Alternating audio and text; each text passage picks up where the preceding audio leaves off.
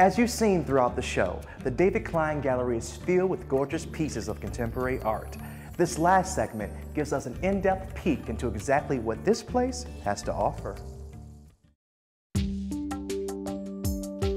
I think the more galleries you have in a community, I think it's better for everybody who's living there. I think we add a richness and a texture, you know, something different than a restaurant or a retail clothing store.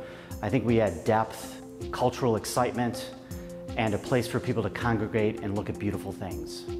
We found a beautiful 4,000 square foot space just a block away from the David Whitney building. It took a year to rehab and recondition the space, and we're very excited for our opening.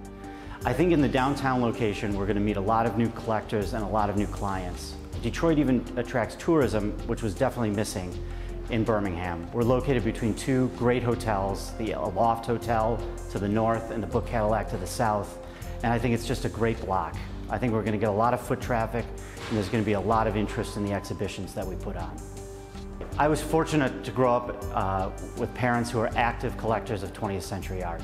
So from an early age, uh, my parents would take me to galleries, would take me to galleries in Detroit and in New York, and I got to enjoy the experience of collecting art.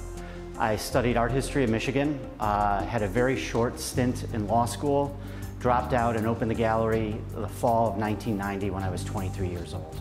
Our new space is going to allow us to show more local contemporary artists, and I think it will also attract many more local young collectors. As part of our opening exhibition, we're showing an iconic work by Scott Hocking and Clinton Snyder.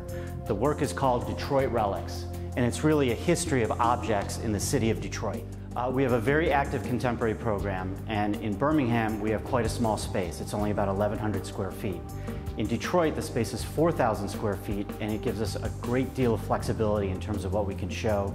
Contemporary art these days is sometimes on a very large scale, very complex, with video and installations, and now we have the space to accommodate those kinds of exhibitions. Um, well, I'm, I'm, Carlos Diaz, uh, full professor at the College for Creative Studies.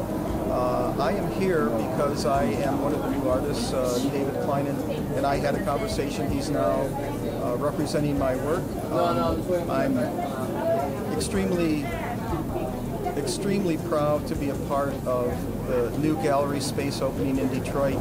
Um, I think that what it represents ultimately is David's investment in the city uh, and in the Detroit artists that are that will be and are a part of the gallery uh, so I'm happy to be here as a Detroit artist. As someone who's worked in Detroit, taught in Detroit for 32 years, um, uh, I haven't seen anything like this in a long time.